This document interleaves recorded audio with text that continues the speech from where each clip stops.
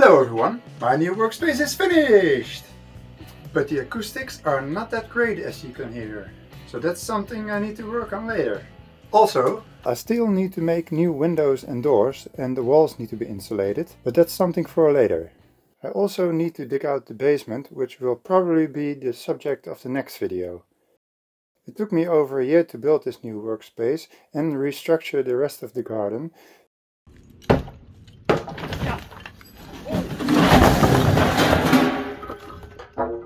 So unfortunately I didn't have time to make normal videos and I was only able to upload shorts.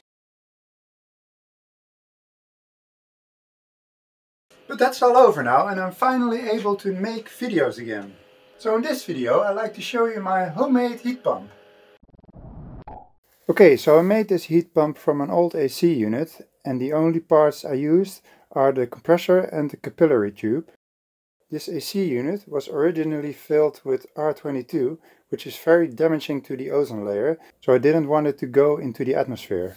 And please people, never ever just blow refrigerant into the atmosphere, because it's very damaging for the environment. So evacuating refrigerant without a license is illegal, so if you want to see how the refrigerant was removed, I advise you to become a Patreon, because I will soon upload a video of that evacuation. Daniel Cruiserway from the YouTube channel Improvatech is currently my only Patreon.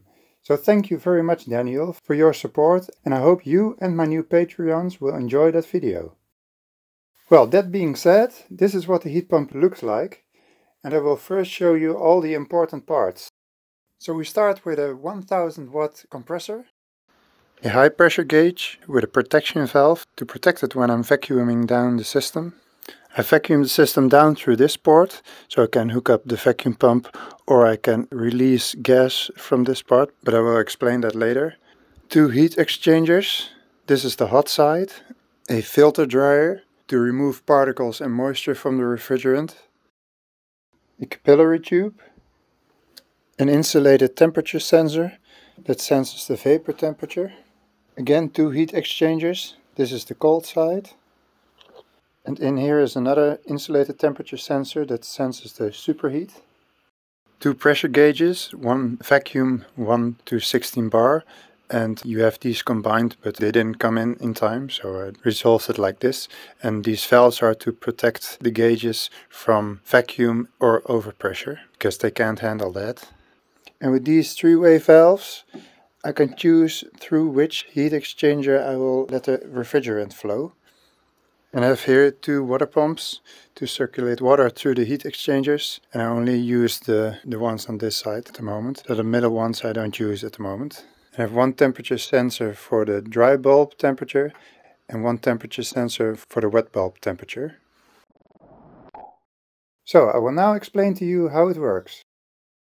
So the compressor pumps the refrigerant for which I use propane through this pipe to one of these condensers. They both do the same thing, the only difference is that in this heat exchanger the heat is removed by antifreeze and in this one by groundwater. When the gas is compressed in the condenser, the temperature rises and because the heat is being removed in the heat exchanger, the gas turns into a liquid.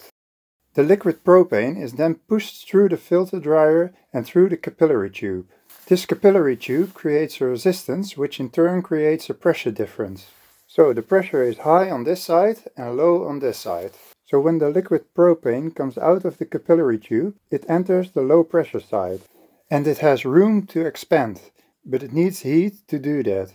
So at this point, the propane is 80% liquid and 20% gas, and it removes heat from the water or antifreeze that flows through one of these heat exchangers, which act as evaporators. And again, this heat exchanger is for antifreeze and this one for groundwater. So when it absorbs heat, it expands without rising in temperature. But at some point, most of the liquid has turned into a gas, which is then still very cold, and it will start to rise in temperature. The amount the temperature rises is called superheat, and with the superheat temperature you can determine if the right amount of refrigerant is present in the system. So the superheat is the difference between the vapor temperature and the temperature of the gas when it exits the evaporator. When that temperature difference is too low, it means that there's too much refrigerant in the system for the amount of heat supplied to the evaporator. This can be a problem when condensed refrigerant enters the compressor. Because it's unable to pump liquid, it can get damaged. When the temperature difference is too high, it means that the amount of refrigerant in the system is too low. So all of the refrigerant turned into a gas too soon and therefore the temperature could rise more than it should. This is not a problem for the system, but the efficiency will not be great. To determine the right superheat, I use this app. You just enter the temperature that is supplied to the evaporator, which is called the wet bulb temperature, and the temperature that is being supplied to the condenser here, which is called the dry bulb temperature. And you can select Celsius here, of course, or for those who are stuck with the inferior measurement system, you can choose Fahrenheit and then it gives you the superheat value. The dry bulb temperature is just the temperature that is supplied to the condenser, and the wet bulb temperature is normally used in an air supplied evaporator. To make a wet bulb temperature reading, you put a wet cloth around the thermometer and hang it in front of the air inlet. So in dry air, the water in the cloth will evaporate, which lowers the temperature of the thermometer. In very humid air, the moisture in the cloth won't evaporate, so the temperature doesn't drop. This measuring method is to compensate for the thermal energy that is present in the moisture in the air, which therefore influences the heat load on the evaporator. All this information I found on the website of AC Service Tech, who also has a YouTube channel with some very good videos about this subject. There is a link in the description to both the website and the YouTube channel. Well, in this case I don't have to put a cloth around the thermometer because the thermometer is already quite wet.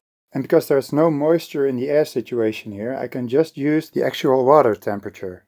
So after the refrigerant comes out of the evaporator in its gaseous state, it will be sucked into the compressor and the cycle starts all over again. And of course, this is a continuous cycle, so everything I described happens at the same time in the whole system. Okay, so to fill it with refrigerant, I first vacuum down the system to remove all the air and moisture. Then I leave it under vacuum with the pump off to see if there aren't any leaks. Then I attach these hoses to the low and the high pressure side of the compressor and before putting on the hose I flush it with some propane to make sure all the air is out.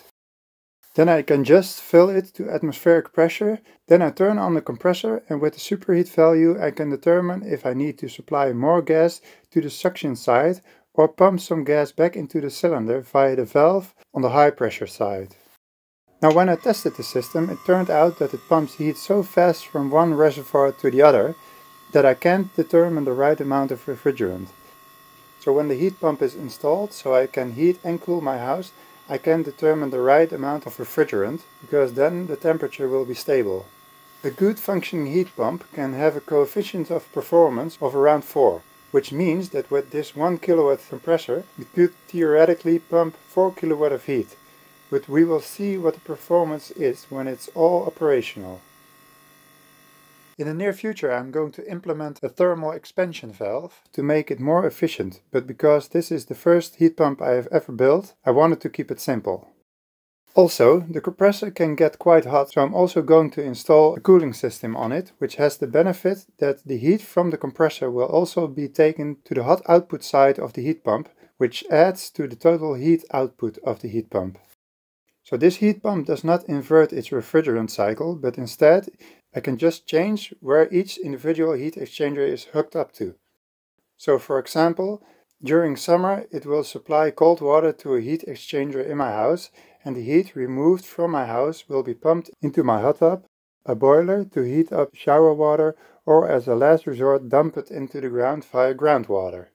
And in the winter it can extract heat out of groundwater and supply that heat to my central heating system.